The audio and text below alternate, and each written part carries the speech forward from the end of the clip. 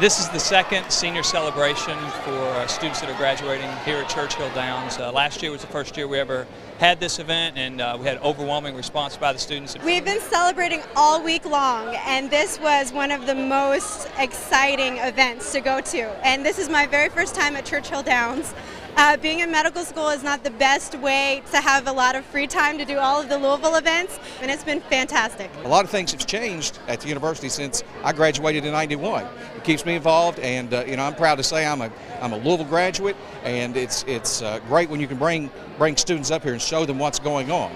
I think it's a great event. It's a good uh, fellowship for the graduates and their families. We need to make sure that all alums are role models for the new alums. The awesome thing about this event is to be able to get graduating seniors together and bring back the alumni and be able to show what alumni are wanting to do and be able to participate because at Louisville you want all of your alumni to come back. You want to be able to participate with them as well as through business networking. And being in a social setting as at Churchill Downs with the history that they have here, it's just a great opportunity to be here together with other students and graduating seniors.